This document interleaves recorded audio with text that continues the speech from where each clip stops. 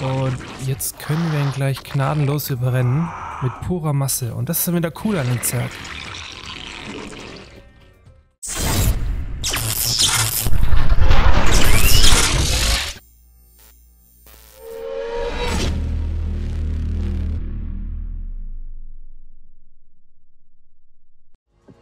Ja, liebe Freunde der Zocker Lounge, herzlich willkommen zurück hier bei StarCraft und heute beginnt die Zerg-Kampagne mit Episode 2 und wir klicken einfach mal drauf. Zerg-Kampagne Overmind. Die Schwärme haben den schwachen Widerstand der Menschen zerschmettert und neun der zehnten, neun der 13 terranischen Welten in Schutt und Asche gelegt. Wie? 9 der 13? Uns ging es doch gerade noch gut. Kurz nach dem Fall der terranischen Hauptstadt Tasonis verließ die Hauptflotte der Protoss den terranischen Sektor.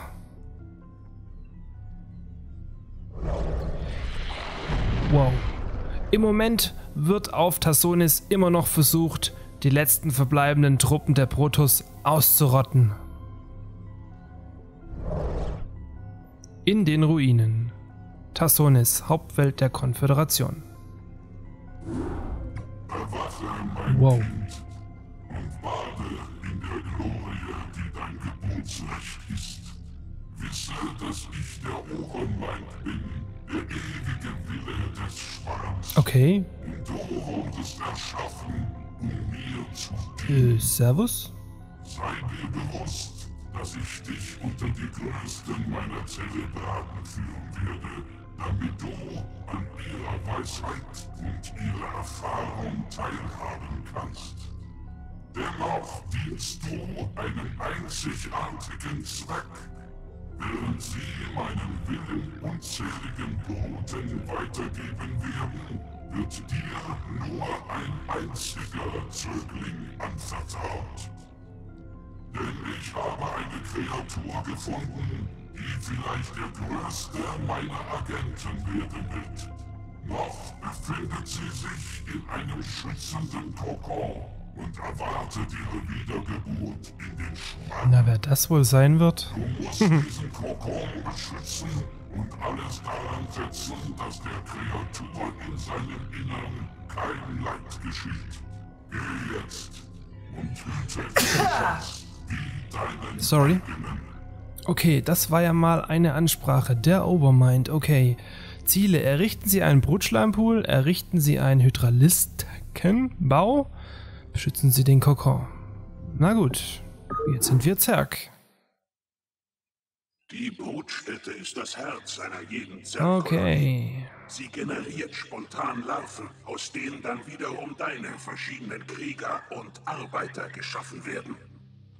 Was können wir denn schon alles bauen? Erschaffe jetzt eine Drohne und beginne mit dem Sammeln von Schon Ressourcen. dabei.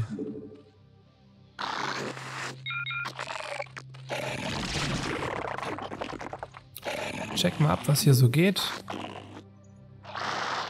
Overlords dienen zur Steuerung deiner Untergebenen. Okay. Nimmt deren Zahl zu, musst du mehr Overlords ausbeuten, um Äh, ja, okay. lenken. Du hast genügend Mineralien. Wähle eine Larve an und lasse sie zu einem Overlord mutieren. Was zu einem Overlord? Okay, ich muss sie wieder kurz ein bisschen Overlord motivieren. Ach so, mache ich doch schon. Mensch.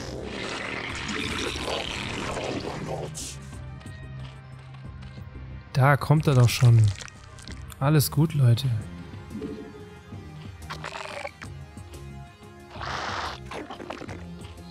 So, und eigentlich wollte ich hier mal ein bisschen abscouten. Okay, im Prinzip müssen wir hier verteidigen. Um neue Kriegerstränge zu erschaffen, musst du die verschiedenen Schwarmgebäude generieren. Die Drohnen mutieren zu solchen Strukturen. Aber Vorsicht, verwende nie deine letzte Drohne, um ein neues Gebäude zu Ja, erschaffen. sonst habe ich ja keine mehr. Zum Ressourcen sammeln. Alles klar. Dann schicken wir mal zwei los und... Ach komm, wir schicken alle los. So. Geil. Zerg. Lang, lang ist her. Also es war nie meine Rasse. Der bin ich eigentlich nie klargekommen, weil das mir alles ein bisschen zu schnell war. Wow. Was geht denn hier ab? Zerlegt ihn.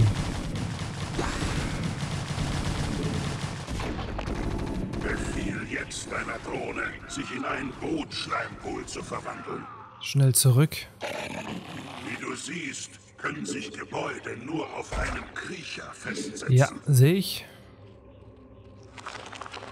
Du kannst Kriecherkolonien errichten, um den Kriecher zu vergrößern. Aber nur eine Brutstätte kann auf offenem Gelände. Und ich habe wieder zu wenig Ressourcen. Na, klasse. Komm, macht mal hier 200, los.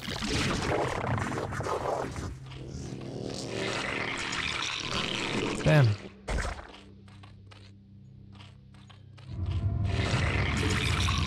Und das reicht die nächste. Drohne? Heißt die Drohne? Okay.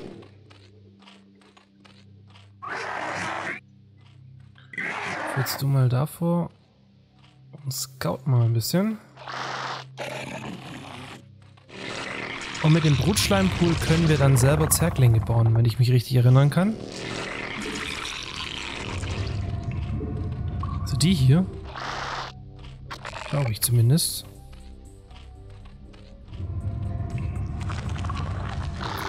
Sind eigentlich auch nicht schwächer wie ein Space Marine.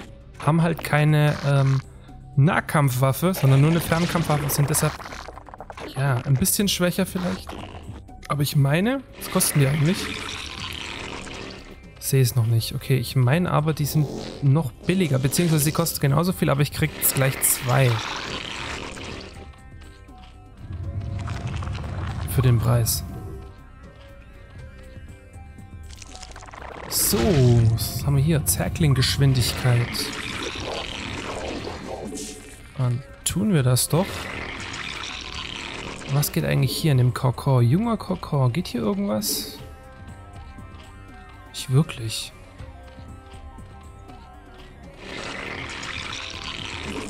Ich grüße dich. Ich Wer bist du denn jetzt? Auch ich bin ein zerebrales Okay.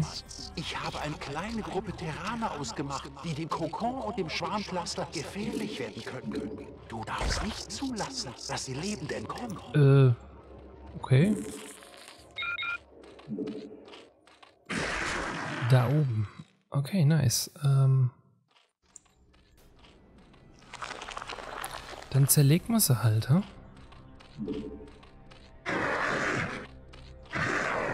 Du mal da hoch, noch ein paar. Du vielleicht hier hin.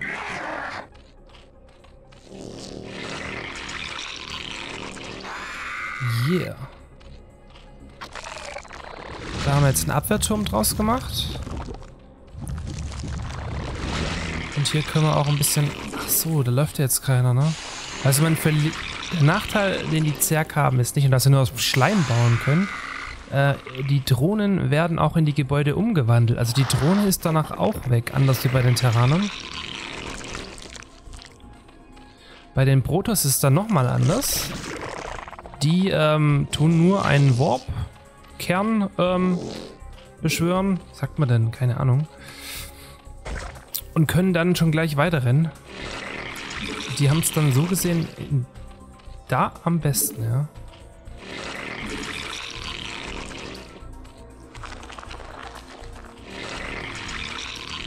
Wow, die Sounds. Muss ich mir erst wieder dran gewöhnen. Schleim, Schleim, Schleim. So, hier machen wir auch noch einen Abwehrturm hin und wir kriegen jetzt hier noch ein bisschen Schleim dazu. Und ihr zwei geht mal Gas sammeln.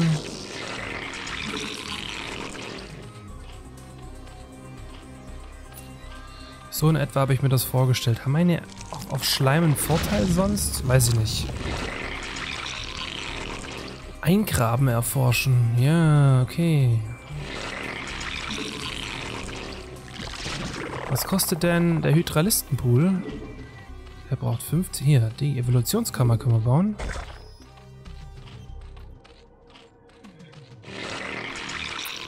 Macht wahrscheinlich auch alles Sinn, ne? Mal ein paar Gebäude zu bauen. Kommt du mal hier hoch. Bau du mal hier noch einen hin.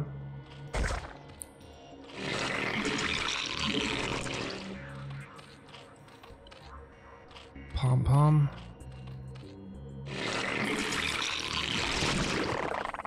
Jetzt noch nicht so spannend, ne? Jetzt hier, Hydralistenpool. Da baut den mal irgendwo hier hin. Und hier können wir jetzt Updates fahren.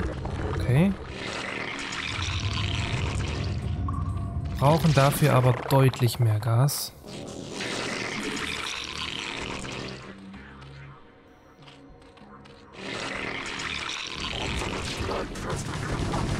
Na.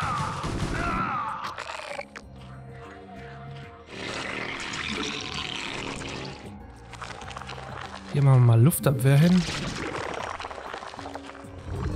Keine Ahnung, ob er da schon in der ersten Mission gleich mit Fliegern kommt. Und ihr kriegt vielleicht noch ein paar Zerklinge hier hoch.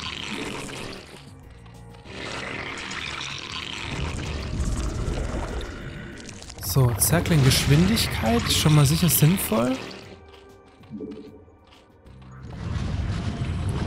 Ich kann ich die in Mission 1 mit Zerkling überrennen? Vielleicht sogar? Keine Ahnung.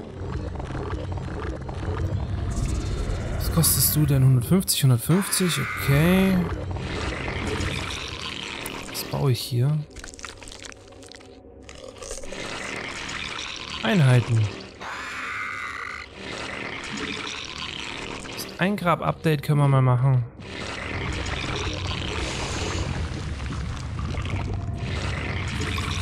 Und vielleicht auch mal einen Hydralisten bauen, ne? Komm, jetzt gehen wir mal mit euch einfach mal los. Schauen wir mal, was hier so geht. Hier geht auf jeden Fall mal was.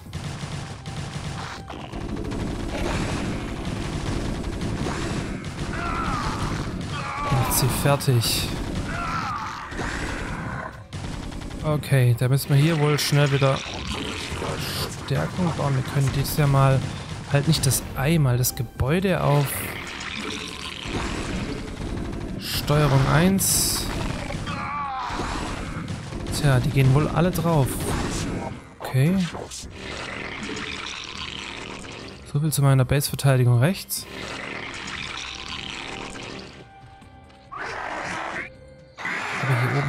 Stehen. Das wird schon passen. So, jetzt könnten wir uns eingreifen, aber eigentlich brauche ich es ja nicht, ne?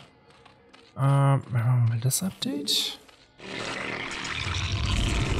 Und das nächste Speed-Update hätte ich auch gerne.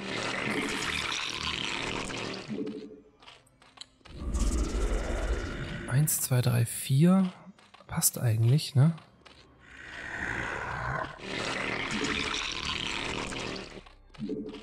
So.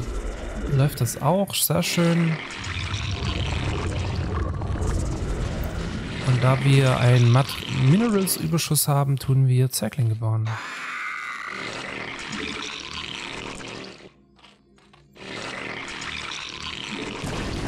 Aha. Da kam die Revenge.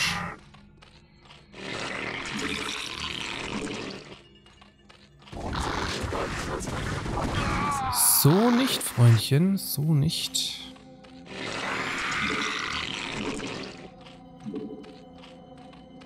Komm, komm, komm.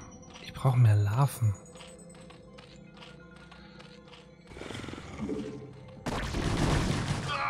Ziemlich schlau, alleine zu kommen.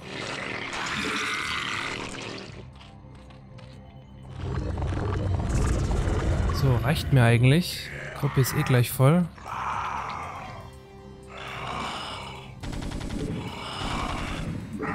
Attacke.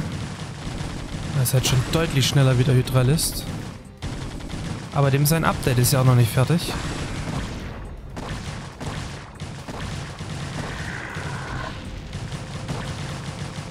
Da will wieder einer stressen. Attacke.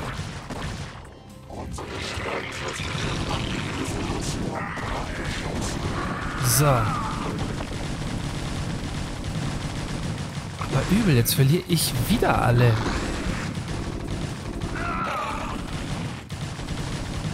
Also ein Zerkling-Trupp ist dann wohl nicht wirklich, nicht wirklich, ne? Effektiv. Mal abchecken, was da noch so geht.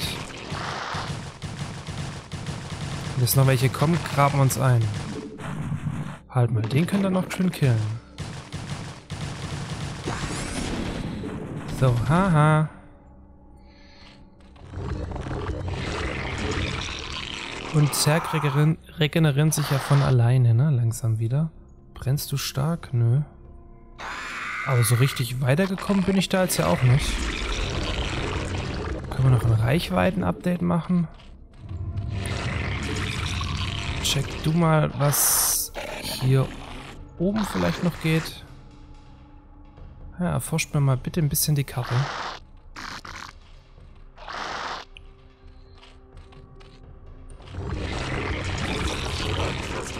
Aha. Schick, schick, schick. Äh, bleib du mal hier.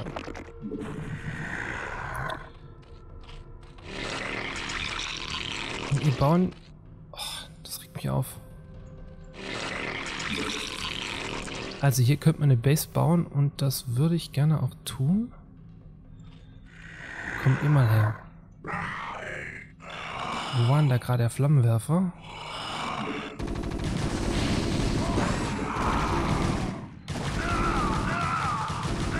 So, bleibt mal hier.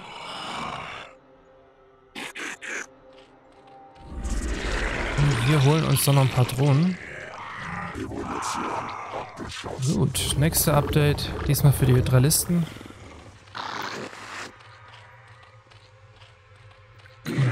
Oh man, Overlord hinschicken.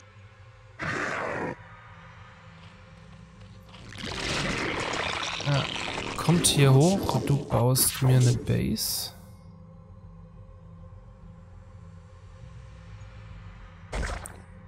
Und du? Tja, du stehst erstmal nur dumm rum.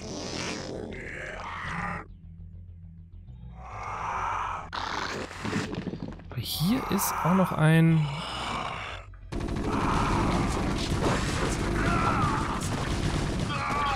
Okay.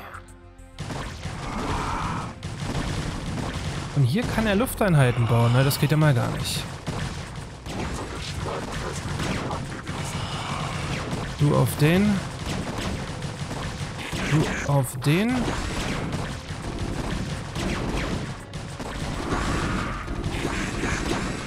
Oh verdammt. Jetzt sollte ich dringend hier oben auch Einheiten hinschicken.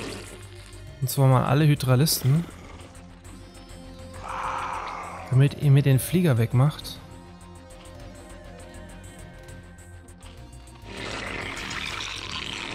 Tja, habe ich mir irgendwie einfach ein, also einfacher vorgestellt. Aber egal. Wir leben noch alles gut. So, jetzt können wir hier wieder weiterbauen. Oh, es dauert ja ewig.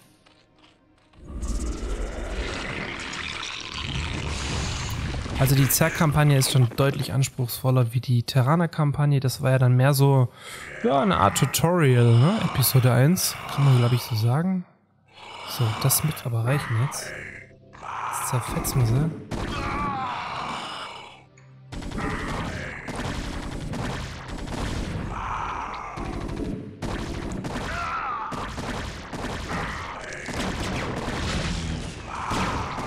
So. Weg damit.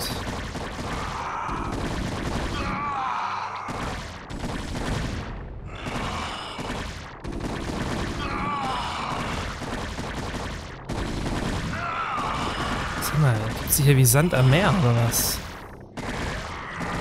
Wir sind hier aber auch schon nah an seiner Basis. So, du bleibst mal hier. Ihr geht verteidigen. Mit dem Eingraben, das gefällt mir. So, jetzt haben wir hier jetzt haben wir mehr Larven. Jetzt können wir auch doppelt so viel bauen. Und das können wir hier wie drüben. Könnt ihr eigentlich gleich hier verteidigen.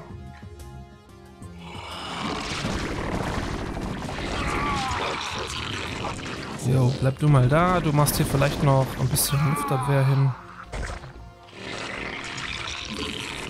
Und sonst könnt ihr mir jetzt schon hier ah, Einheiten bauen.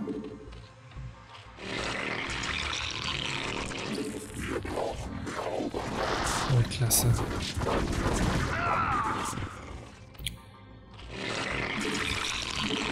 So, Overlords, okay, check mal, was hier geht.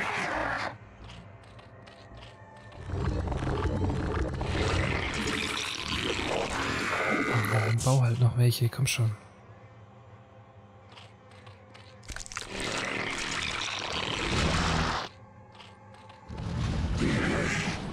So, gucken wir noch, was hier lol so ist. Updates technisch haben wir jetzt alles. Die Gasquelle, die schenken wir uns mal. So, weiter Einheiten. Zack, zack.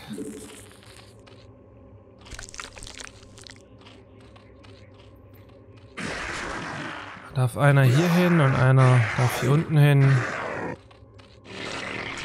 gut. Speed-Updates haben wir ja. Okay.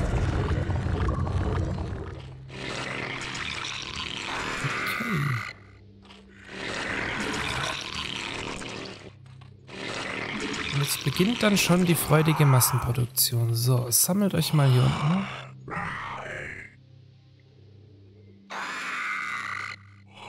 Jetzt will ich was tot sehen.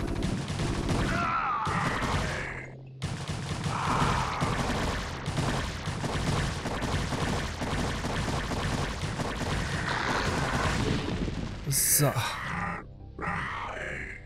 Was geht hier noch so? Nicht mehr viel. Ja, so in etwa habe ich mir das vorgestellt. Jetzt könnt ihr eigentlich auch gleich da hochlaufen.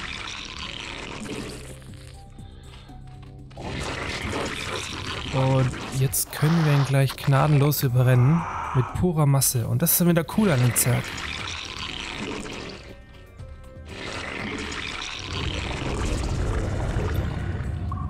einen Detektor hier hinfliegen lassen. Er kann hier hinfliegen. Das mal alles sehen.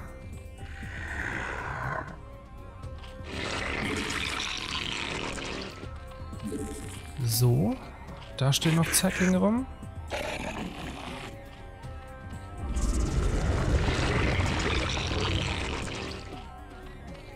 Ach, und wisst ihr, glaube, das reicht, oder? Angriff. Ne? Wieso kann ich nicht Angriff drücken? Doch, kann ich.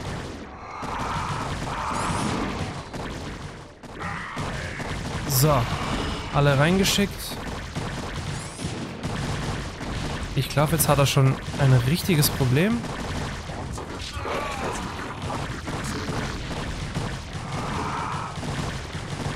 Bam, bam, bam, bam, bam.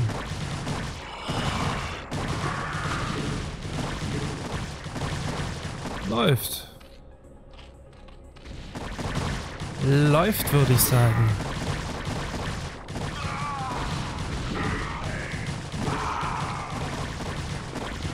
Bam. Was das? Ja! Herzlichen Glückwunsch, Sie haben gesiegt. Und in diesem Sinne, mal wieder eine kürzere Mission, nachdem die letzte ja ein bisschen ausgeufert ist. Möchte ich mich wie immer bei euch bedanken fürs Zuschauen und wir sehen uns natürlich mit den Zerg in Episode 2, Mission 2, hier auf der Zocker Lounge. Also dranbleiben. Bis dahin, haut rein, ciao.